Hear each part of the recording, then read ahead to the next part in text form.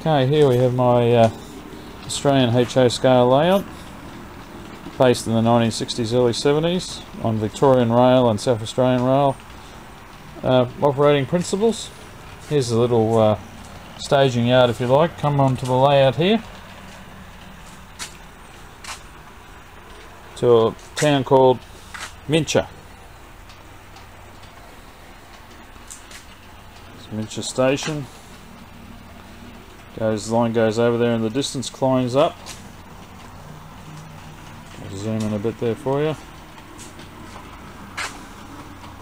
And over the top there on that trestle bridge, there's a train going underneath now. That station you see in the foreground there is Linga Junction. The line goes over the back there and comes back down through here. I'll move around this middle piece and give you a better idea.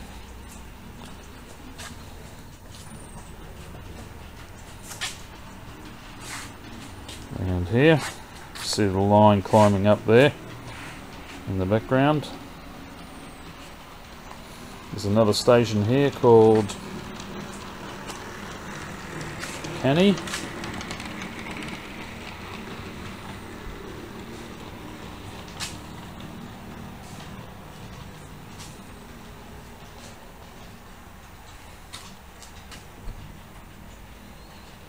And the line over the back there swings around into the terminus town called Oroka. A little bit of industry there, some cattle, flour mills.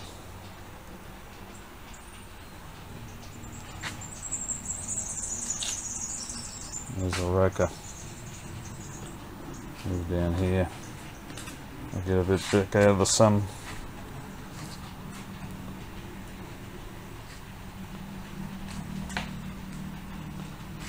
Down here. There we go.